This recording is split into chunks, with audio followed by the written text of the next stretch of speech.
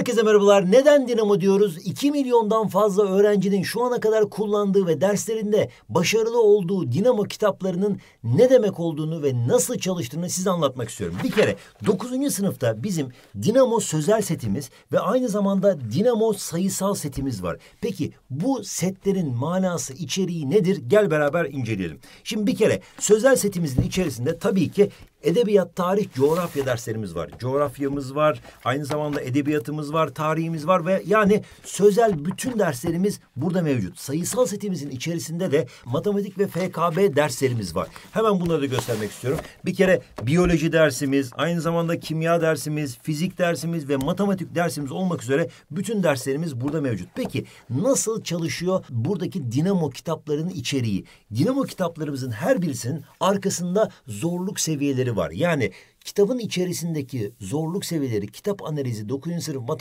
dinamo soru bankası şeklinde yazılıyor. Mesela bu kitabın içerisinde başlangıç seviyesi 286 soru var.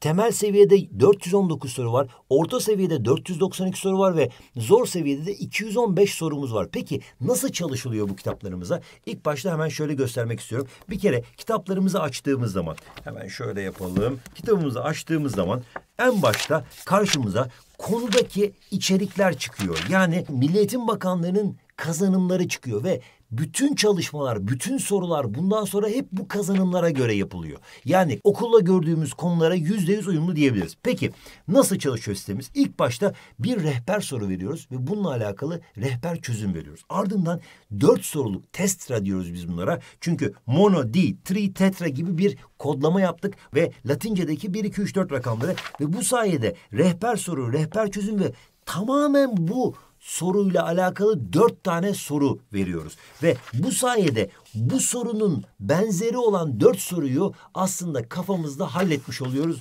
konu olarak da halletmiş oluyoruz. Aynı zamanda FL kısımlarında fen lisesinde olan ekstra müfredat özellikle üniversite sınavında sayısal bölümlerde sorulan ekstra müfredatla alakalı da soru çözümleri mevcut ve bu sayede de bunlara da şimdiden çalışmış oluyoruz.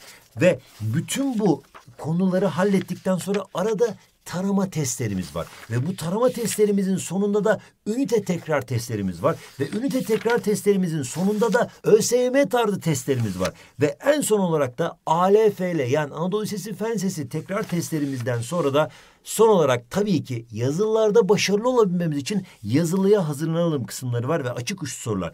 Tabii ki hepsinin video çözümü var. Yani açık uçlu soruların cevap anahtarı arkasında ve aynı zamanda video çözümleri de burada mevcut ve bütün sorularımız, test sorularımız, açık uçlu sorularımız hepsinin video çözümüne buradaki TATS uygulamasına ulaşabiliriz ve kitaplarımızın arkasındaki kare kodu kazıyıp da kitabımızı aktive ettiğimiz zaman kitabımızın dijital versiyonunda yani bütün bu soruları aslında dijitalden, aplikasyondan, uygulamamızdan net bir şekilde görüp soru çözümlerini buradan izleyebiliriz diyebiliyoruz. Ve matematiği, biyolojiyi, fiziği, kimyayı yani sayısal derslerimizi, aynı zamanda coğrafyayı, edebiyatı ve tarihi de hallederek aslında bu iki setimizde, sayısal ve sözel setimizde 9. sınıfta tüm derslerde başarılı olacağız ve diğer arkadaşlarımız gibi 9. sınıfta harikalar yaratacağız inşallah diyoruz. Ve hadi bakalım o zaman artık videomuzu bitirelim ama öncesinde şunu da söylemek istiyorum. Setlerimize ulaşmak için Türkiye'deki tüm Tonguç kitapçılarından ulaşabilirsiniz ve aşağıda açıklamada linki var. İl ve ilçenizi seçip